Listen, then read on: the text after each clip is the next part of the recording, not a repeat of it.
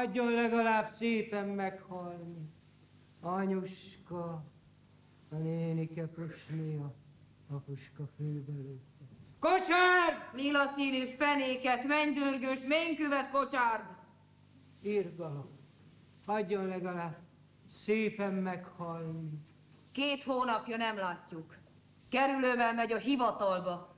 Egyszer aztán mégis összetalálkozunk, erre rögtön eszébe jut a stílus, hogy mit mondott a meghalásról, hazajön, befekszik az ágyba, elkezd nyifnyafolni, kimondja magáról, hogy kampet, és még azt kívánja, hogy az ember tisztelettel viseltessék az őrültsége iránt.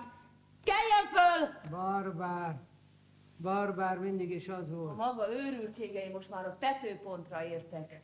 Hallom, hogy már egy hete nem eszik, csak úgy programból. Kucnyék, Bizonyos Istenemre, hét szentségemre, boldogult édesanyám meg a szegény férjem sírbéli nyugalmára nem ér! Nem ér! Hiszen ebben még egy elefántnak is bele kell pusztulnia.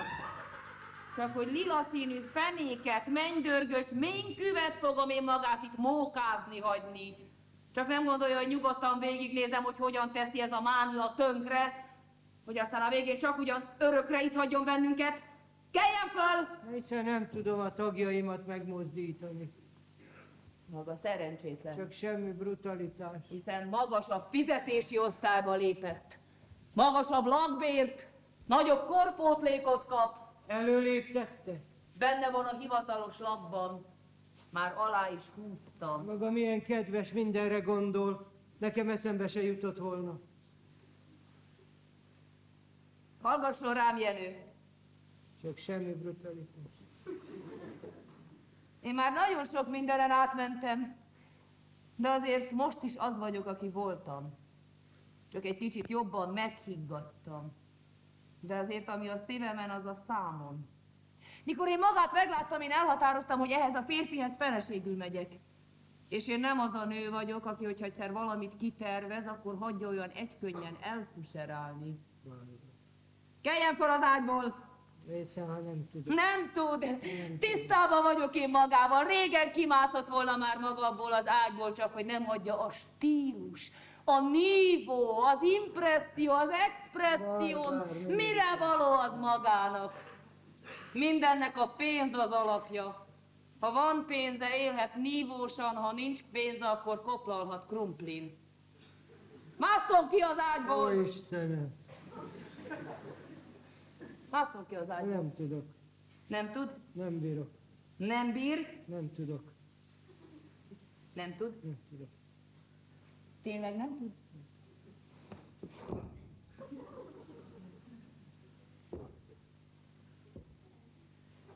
És most, hogy már egészséges, most mihez fog kezdeni? Áthelyeztetem magam. Elment az esze. Hogyan találkozzam a hugaival? Jaj, hagyja szegény Luizát és Böskét. Megvan azoknak a maguk baja. Hallottam, mind a ketten gyászolnak. Böske a hadnagyot, Luisa pedig a költőt. Böske kapott a frontról egy pár szép levelet, aztán Pistát idehozták a kórházba. Itt össze is esküdtek. A nagymama most már megadta a kauciót, de most már késő volt. Böske most fiatal özvegy, a hadnagy emléke pedig szent és jó. De a Biki, a Biki. A Biki nem volt katona, a Biki él és ír. És Luisa nagyság mégis. Jászol? A Viki legutolsó könyvének az első lapján ez áll nyomtatva. A felejthetetlen Luizán. Luisa most gyászolja a költőt, viszont bekerült az irodalomba. És most minden szent és jó.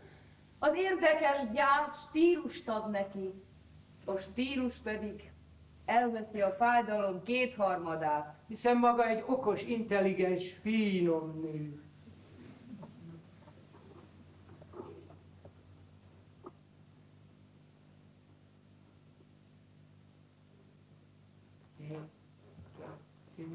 Egy, kettő, egy, kettő, járni tanul a kicsi fiú.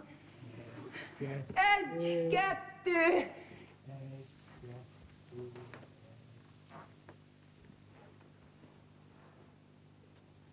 Igyék egy kis bort, ez majd átjárja a vérét, meglátja milyen jó lesz. Gondolja? Tudom, Maga is igyék egy keveset. Na még egy.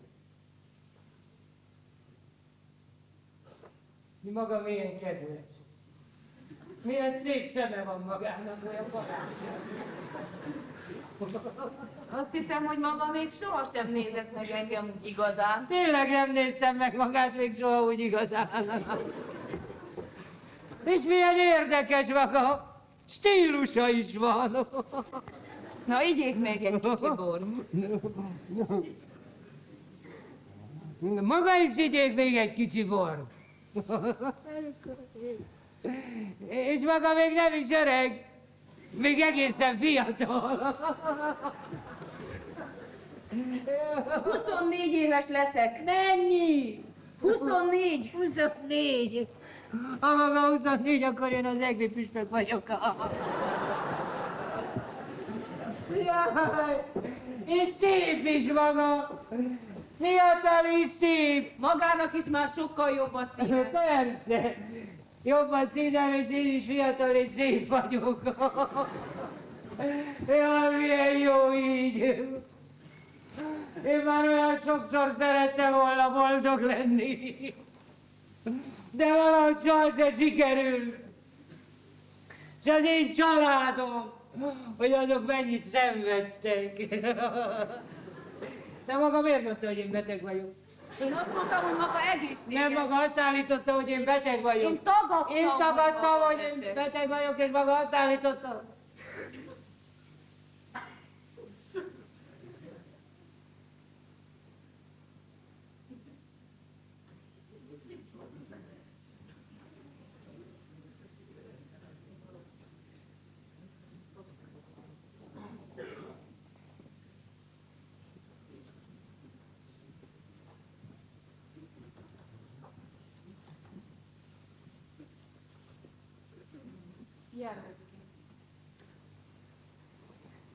Luisa Csak hogy már látjuk.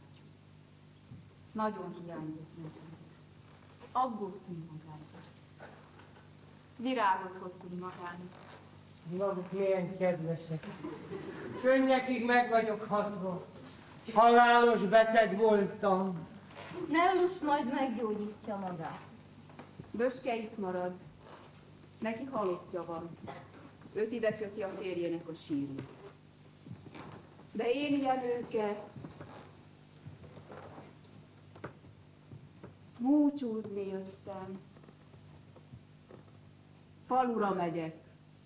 Postamesternőnek. Milyen érdekes nő lesz maga ott falun. A jegyző, a pap, a tanító, a kocsmáros hogy fogják csodálni. És férhez megy a tanítóhoz. Nem, férhez nem megyek. Őszinte részvétel kegyedi rá. Ugye elkísér majd néha engem az uram sírjához. Ha arra mélta.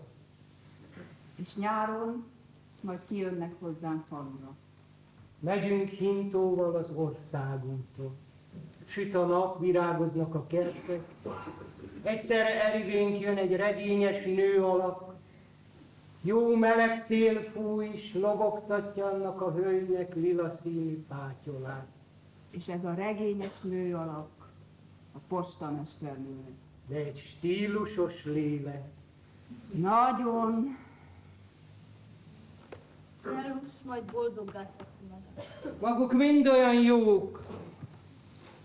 És Nelly is olyan végtelenül jó. És most már lesz drága kis feleségem, olyan nő, aki iparkodik mindenben megérteni engem. Lesz saját konyhám, ahol mindig az készül, ami nekem jó. Lesz saját otthonom, ahol mindent úgy rendezünk be, ahogy nekem kellemes. Milyen szép is az élet, milyen gyönyörű a szerelem. Milyen szép az élet.